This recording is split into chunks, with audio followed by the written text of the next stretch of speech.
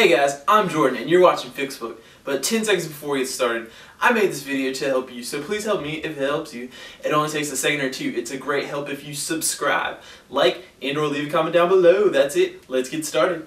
So today I'm going to be showing you how to determine whether or not you have a VTEC engine in your Honda or Acura. Okay guys, now this is a Honda engine and on some Honda engines the valve cover will actually say VTEC on it if it's a VTEC engine.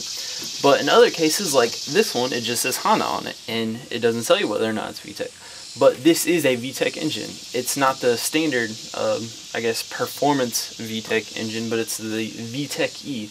And there's actually three kinds of VTEC. There's uh, the standard VTEC, the VTEC E or economy version of VTEC. And then there's also iVTEC, which is the intelligent VTEC. And towards the end of the video, I'll give you a description of each of those. Um, but right now, I'm going to go ahead and show you how you can determine whether or not the engine is VTEC. Okay guys, so what we're going to be looking for is a VTEC solenoid. If the car does have a VTEC solenoid, then it's VTEC. And if it does not have a VTEC solenoid, then it's not VTEC. That makes sense, right? Okay, so what does the VTEC solenoid look like? So, we're going to come over here and that is a VTEC solenoid right there. It's got a single wire coming off it and it looks something like that. Now on the newer models, I'm not sure whether you'll be able to see this so easily, but on this particular model, it comes right off here and it's right off there to the side.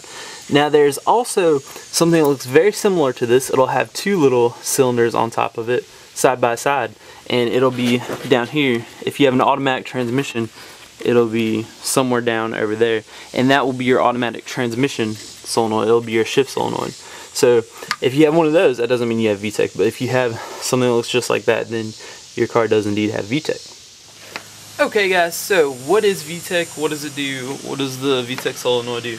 I'm going to answer this question very briefly because I'm actually going to make a video entitled What is VTEC? And that's going to go over basically the three different kinds of VTEC and it'll go really in-depth on what it does and I'll have pictures and all that cool stuff. So basically I'll start out with uh, VTEC. What does it stand for? It's Valve Timing Electronically Controlled. And what is, how does it do that? There's a VTEC solenoid which basically it monitors the oil pressure and when oil pressure builds up to the certain spot it needs to be, it's going to, the solenoid is going to activate the higher profile lobes on your camshaft, which is going to more aggressively, it's going to control your valves more aggressively, and that's how you get that uh, extra little boost there. It's how you get the more fuel, and it, you that cool little sound. That's how it does that. So that's the really brief explanation, but like I said in the other video, which there should be up right now a annotation link or a link down in the video description for that video so you can go check that out. So it won't be up the day, the link annotation and video description link won't be up the day that this goes up, but it will be up within a week or so.